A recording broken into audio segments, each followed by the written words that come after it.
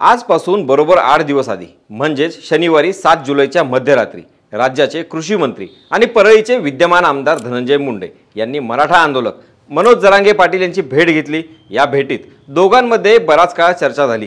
दरम्यान धनंजय मुंडे यांच्यासोबत झालेल्या भेटीत नेमकी काय चर्चा झाली? याबाबत आता मनोज जरांगे पाटील यांनी माहिती दिली.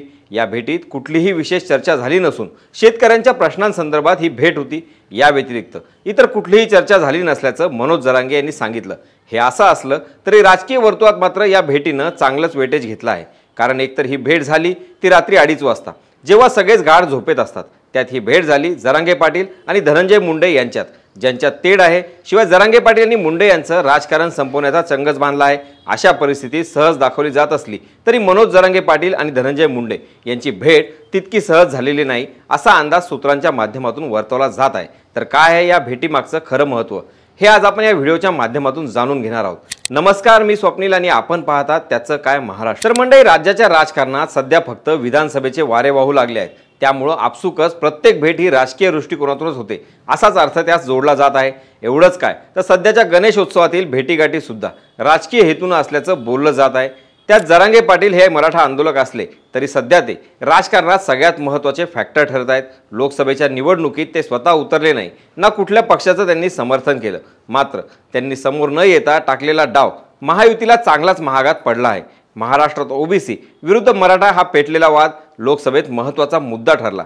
त्यामुळं अनेक ठिकाणी महायुतीच्या अपयशात मराठा फॅक्टर मारक ठरला. यात सगळ्यात महत्त्वाचा फटका बसला तो बीड जिल्ह्याला. बीडच्या राजकारणात मुंडे घरानं चितपट झालं.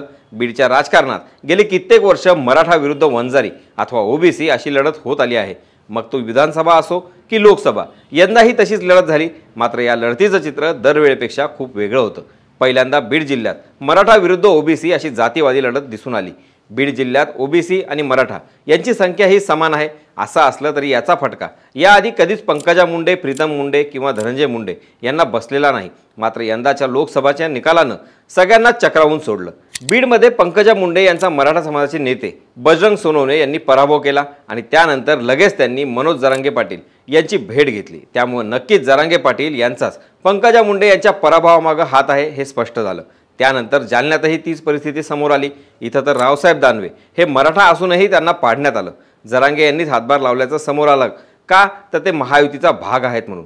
राज्यात महाविकास आघाडीला चांगले दिवस येणं. शरद पवार यांनी दिलेले मराठा उमेदवार निवडून येणं आणि त्यांना मनोज जरांगे यांचा पूर्ण पाठिंबा असणं हे सगळं नक्कीच दिसतं. तितकं सहज सोपं झालेलं नाही आहे हे सगळं जुळून आणलेलं समीकरण आहे. असा अंदाज या सगळ्या परिस्थितीवरून बांधता येतो. पंकजा मुंडे यांचा पराभव होता. सगळ्यांचं लक्ष हे धनंजय मुंडे यांच्याकडे लागलं. धनंजय मुंडे यांचेही धाबेधन आणले.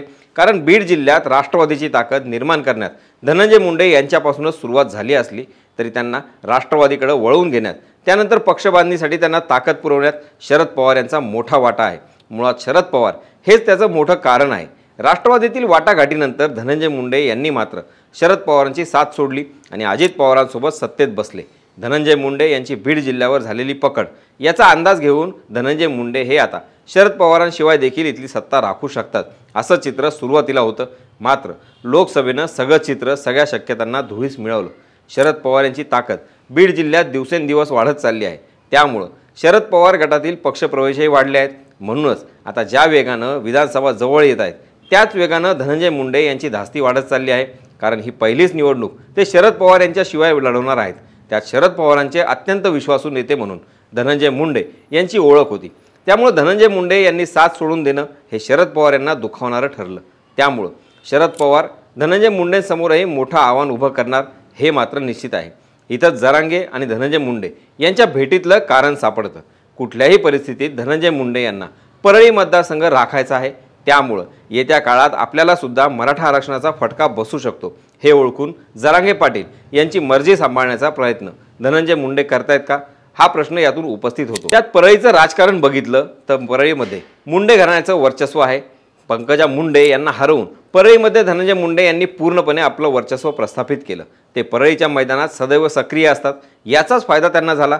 परळीमध्ये धनंजय मुंडे यांची ताकद कमी झाली नसली तरी परळीतही मराठा वंजारी फॅक्टर महत्त्वाचे आहेत.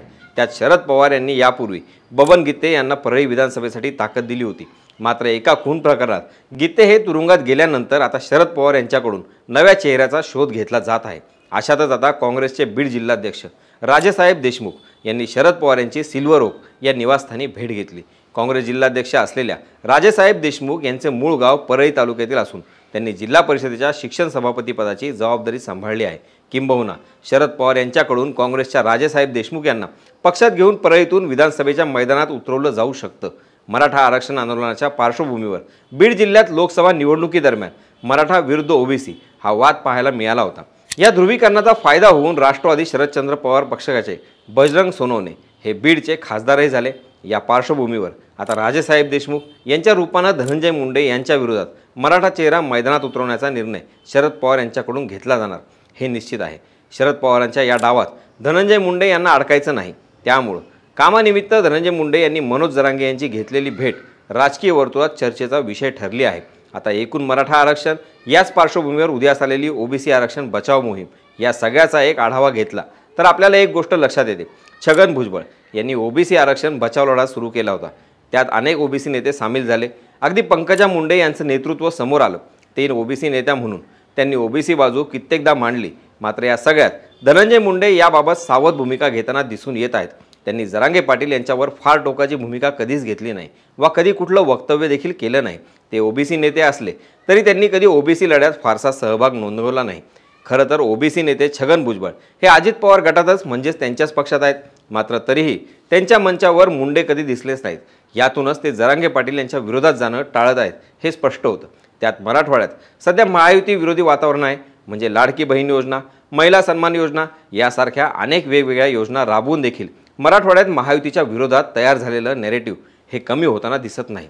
त्यात महायुती आणि राष्ट्रवादी अजित पवार गटात आणलेले संबंध हाही एक वेगळा मुद्दा येतो. अशा परिस्थितीत धनंजय मुंडे यांना कुठल्याही परिस्थितीत परळीच्या जागेवर आपलं वर्चस्व कायम ठेवणं गरजेचं आहे. एकंदरीतच या एकूण परिस्थितीवरून आगामी निवडणुकीत जरांगे पाटील आणि मराठा आरक्षणाचा फटका धनंजय मुंडे यांना बसू नये. यासाठी त्यांनी जरांगे पाटील यांची भेट घेतल्याचं अनेक राजकीय विश्लेषकांचं मत आहे. आता जरांगे पाटील यांनी काही दिवसांपूर्वी अनेक ठिकाणी जाऊन शेतकऱ्यांच्या पिकांची पाहणी केली होती. त्याचीच माहिती घेण्यासाठी धनंजय मुंडे त्यांच्याकडे गेले. त्यांनी सगळा अहवाल घेतला. मात्र ही भेट रात्री अडीच वाजता झाल्यानं सगळ्यांनाच खटकली. त्यात झालेल्या राजकीय चर्चेचा अंदाज सगळ्यांनीच लावला. आता हा अंदाज खरा ठरणार का? या भेटीमागची आणखी कुठली कारणं समोर येतात हे येत्या काळात स्पष्ट होणारच आहे.